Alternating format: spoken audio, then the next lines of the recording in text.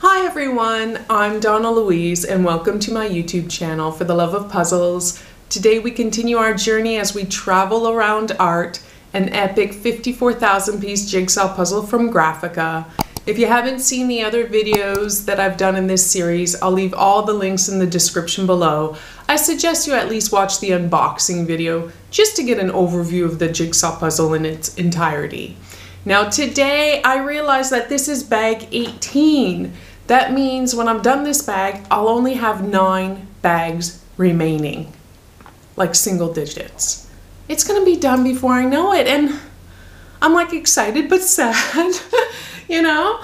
I'm excited for this one because very different. Look at this. This is section 14. Look at this painting here. Oh, just beautiful, colorful, different. I can't wait to learn about it.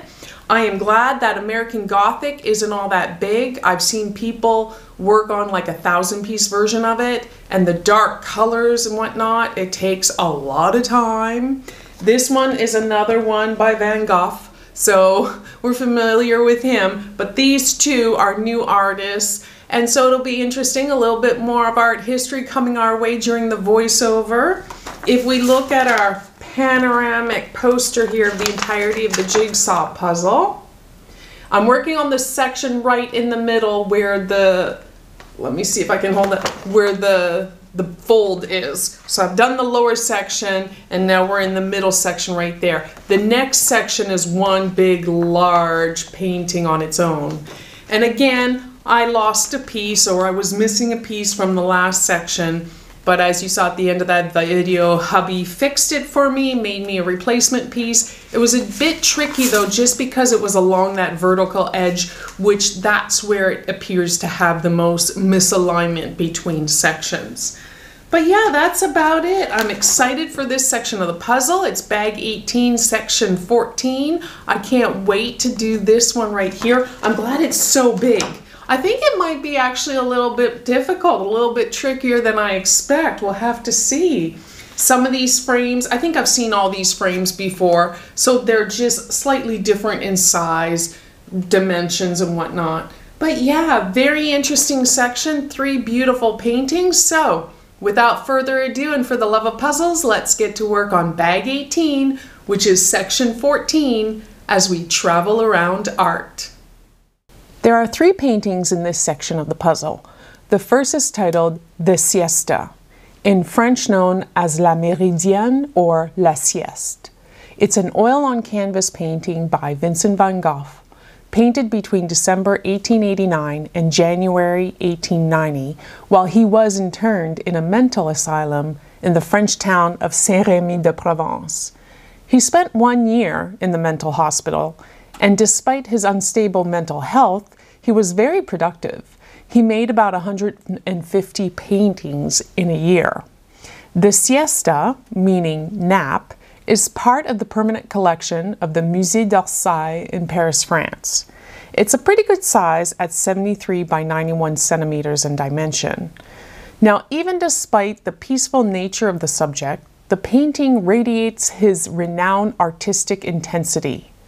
The composition is taken from a drawing by French painter Jean Millet titled Four Moments in the Day. Now, to justify his act, Vincent told his brother Theo, I am using another language, that of colors, to translate the impressions of light and dark into black and white. Now, Van Gogh often copied the works of Millet, whom he considered to be a more modern painter than Manet. Remaining faithful to the original composition, even down to the still life details in the foreground, Vincent nevertheless imposed his own style upon this restful scene, which, for Millet, symbolized rural France of the 1860s. This highly personal retranscription is achieved primarily by means of a chromatic construction based on contrasting complementary colors blue violet, yellow orange. The painting has been considered one of Vincent van Gogh's masterpieces. The second painting in this section of the puzzle is titled American Gothic, a 1930 oil on beaver board by Grant Wood in the collection of the Art Institute of Chicago in Illinois of the United States. Wood was inspired to paint what is now known as the American Gothic house in Eldon, Iowa, along with the kind of people he fancied should live in that house. It depicts a farmer standing beside his daughter, often mistakenly assumed to be his wife.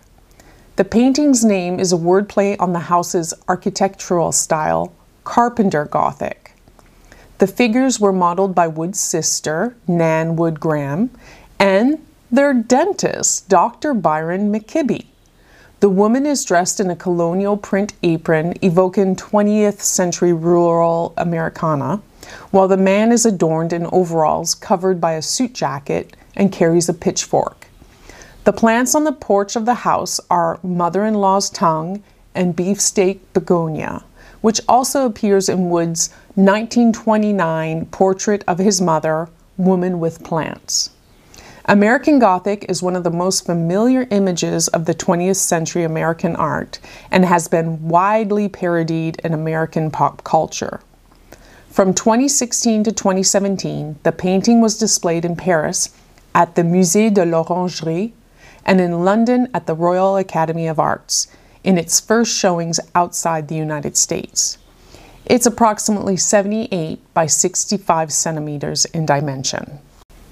The last painting in this section of the puzzle, which I absolutely love, is titled Park bei Lu. In English, Park near Lu. It was painted by Swiss German artist Paul Klee in 1938 and is an interpretation of the foliage he saw at a park in the city of Lucerne in Switzerland. Klee's wife Lily traveled several times in the late 1930s to Lucerne for health reasons and while she was there, Klee and Lily would often stroll through the park. He had an individual style which drew influence from Surrealism, Expressionism, and Cubism. He is highly regarded for his explorations into color theory, and his lectures named Writings on Form and Design Theory are considered very important to modern art. Park near Lu is painted with oil and colored paste on paper on jute. The dimensions of the painting are 100 by 70 centimeters in size, so it's a pretty good size. The original frame strips remain on the painting. It depicts black symbols which represent trees and their branches, as well as paths within the park. The trees are devoid of leaves as if it were still winter. The surrounding zones of color appear to be foliage there is a strong contrast between the darker trees and the colorful foliage. For this reason, one interpretation of this painting is that the painting represents spring and winter, and both blossoming and death within the same image. The painting is currently on display at the Zentrum Paul Klee in Bern, Switzerland. The Zentrum Paul Klee is a museum dedicated to the artist himself designed by the Italian architect Renzo Piano.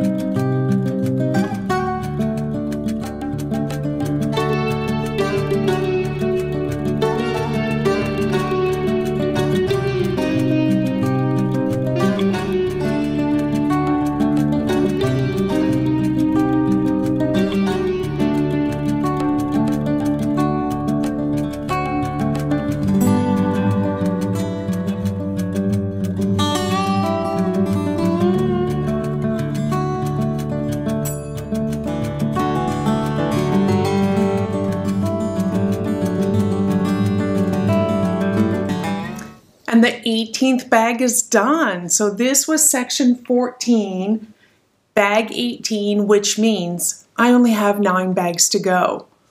Nine bags to go. Oh, it's going to be done oh, so soon. What am I going to do afterwards? Seriously, I loved this section.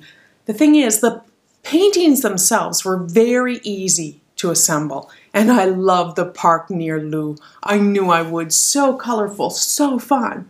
The frames weren't too bad at all, and I'm really getting to know the frames because they repeat. That I the more that I do the same frame, the easier it gets, obviously. But those beige background pieces make it that I would say this section is an easy to medium because I think I spent the last three and a half hours just on beige pieces. And you'll notice in the video, I actually went and grabbed another section of a previous puzzle because there was just a big, well, it's not that big, but it's big when it's all beige one color, this area right here. And I was just like, I need some help. So I grabbed the similar section from another part of the puzzle, brought it over, and that helped me put in what I call the specialty pieces, the no prong, four prong, one prong, three prong, those pieces, just to get them out of the way to help reduce the time spent on beige pieces. Now, when sorting the beige pieces, because I'm more familiar with the puzzle, I'm actually better at sorting the beige pieces and like subsorting them. Not only do I know which direction they go, but I actually kind of have an idea if they go along the edge of the puzzle or maybe in the middle of the puzzle. So that helps. I am getting to know the puzzle and the pieces and where the false fits. Remember, I talked about those before where they can happen right at the top corner here. The entire puzzle took me 12 hours and 8 minutes to do. So really not that long. And frankly, if it wasn't for all the beige pieces, I would say it's quite an easy section and very enjoyable to do because the paintings are all so different from one another, which makes it that much more fun to complete. Now, what else do I have to say? That's about it, really. The next section of the puzzle is one large painting with one large frame. I think I only have that one and two more to do that it's just one large painting. I mean, there's only nine sections left. That's gonna be done so soon. Oh, but I'm loving it and I hope you're enjoying this as well. So thank you so much for watching. I really appreciate it. For the love of puzzles, I hope you enjoy my videos. Please consider subscribing and until next time, ciao!